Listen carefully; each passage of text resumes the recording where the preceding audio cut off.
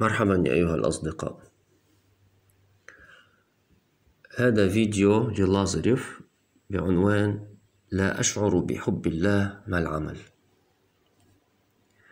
الفيديو سبق أن ترجمته وهو متوفر مع عناوين على قناة تشخيص الكارما قناة لازرف الرسمية بالعربية في اليوتيوب.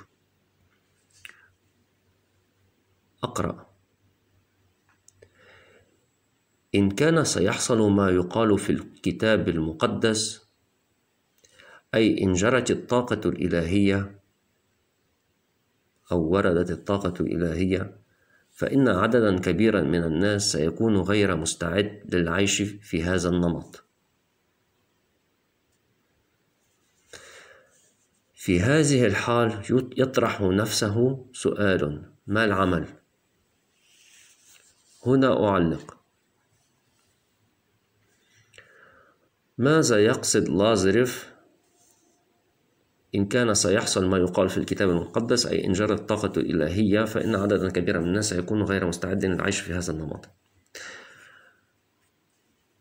حسب ما بيقول لازرف قريبا أو بدأت تقترب الآن منا مصفوفة المستقبل.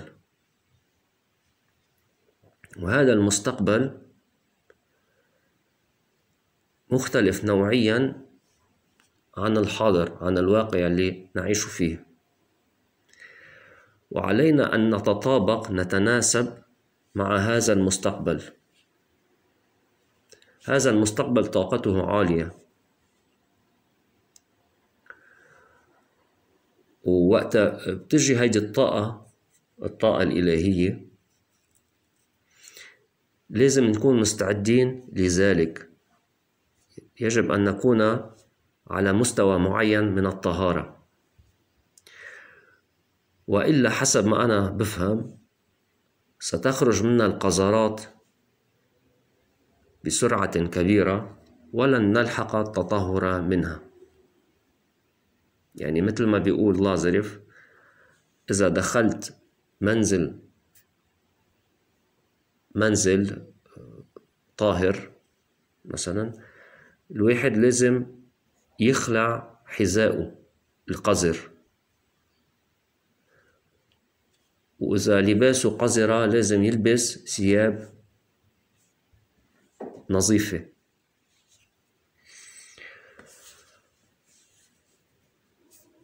فإذا في هذه الحال يطرح نفسه سؤال ما العمل؟ مؤخرا توصلت إلى أمر بسيط أو إلى استنتاج بسيط.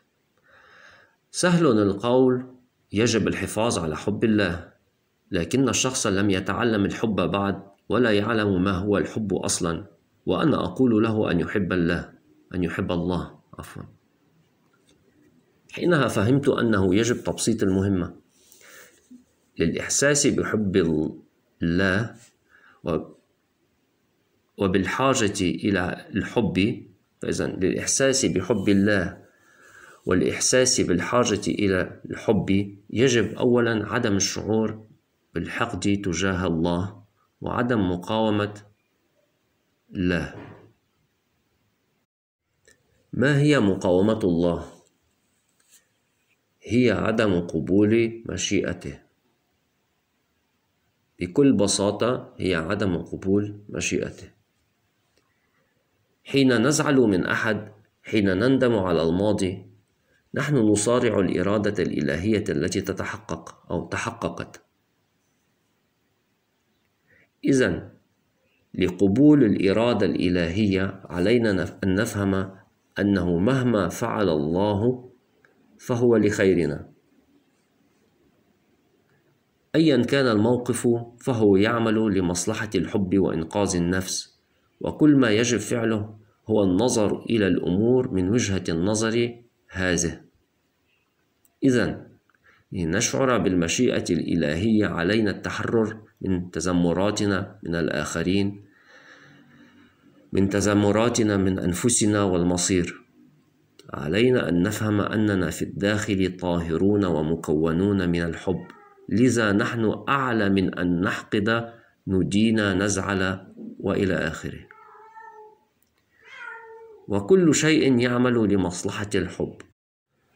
ثم للشعور بالمشيئة الإلهية يجب علينا إقناع وعينا بذلك. ربما علينا تكرار أننا نتقبل المشيئة الإلهية أننا نفرح لتحققها. أننا نفهم أنها تهدف لإنقاذ الحب في نفوسنا. ثم من تجليات الاعتراف بالحب هو شكر الشخص على فعله. بالتالي إن كنا نحمد الله على كل ما يحصل فهذا يعني قبولنا للإرادة الإلهية واعترافنا بها. زعلي يعني أني لا أعترف بمشيئته. أما إن كنت أعترف بإرادة الله بمشيئته وأفرح فهذا يعني أني شكور له. إذا ببساطة كل يوم وخاصة حين تستيقظون يجب حمد الله على كل شيء وتقبل مشيئته كبداية. من الذي سينجو؟ يقصد سينجو في المستقبل. من سيسد نقص الطاقة التي تدمر أي من سيهتم بإنقاذ النفس. والنفس تنقذ بحب الله لكن حب الله مستحيل دون قبول مشيئته. لذا توجد قاعدة بديهية صباحا يجب حمد الله قبول مشيئته. تكرار أن حب الله هو السعادة والمتعة العليا ومغزى الحياة بكل بساطة. ترجمة محمد سوالبل انضموا إلى قناتي وشاركوا الفيديو. متوفر تطبيق تأمل لتخفيف التعلق الألم النفسي وتطهير النفس وكذلك لزيادة والمساعدة على الشعور بالمشيئة الإلهية. يمكنكم اقتناء هذا التأمل بالتواصل معي هو غير مجاني. رقمي في الوصف. كذلك أذكركم بأني أقدم استشارات خاصة وكذلك أذكركم بتوفر كتب سيرجي نيكولايفيتش. لازاريف بترجمة لدى دار قراني انضموا إلى القناة. شكرا للمتابعة وإلى اللقاء.